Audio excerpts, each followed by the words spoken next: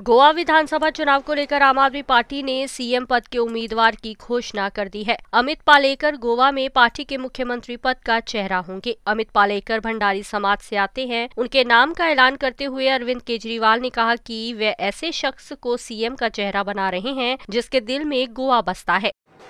मुझे आज आम आदमी पार्टी की तरफ़ से अमित पालेकर जी को आम आदमी पार्टी का सीएम चेहरा ऐलान करते हुए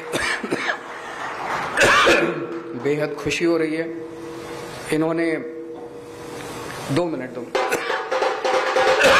टू मिनट्स ये पढ़े लिखे शख्स हैं। इन्होंने समाज के लिए बहुत कुछ किया है। गोवा का बच्चा बच्चा इनको जानता है।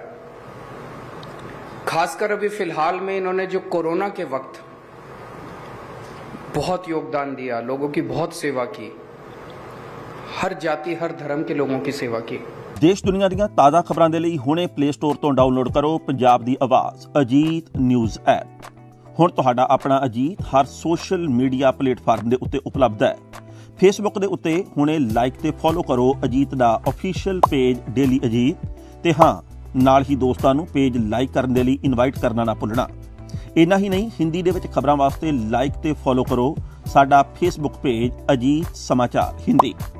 YouTube ਦੇ ਉੱਤੇ ਵੀਡੀਓ ਖਬਰਾਂ ਦੇਖਣ ਦੇ ਲਈ ਹੁਣੇ ਸਬਸਕ੍ਰਾਈਬ ਕਰੋ ਅਜੀਤ ਦਾ official YouTube channel Ajit web TV ਤੁਹਾਡਾ ਆਪਣਾ ਅਜੀਤ ਹੁਣ ਟਵਿੱਟਰ ਤੇ ਇੰਸਟਾਗ੍ਰam ਦੇ ਉੱਤੇ ਵੀ ਉਪਲਬਧ ਹੈ।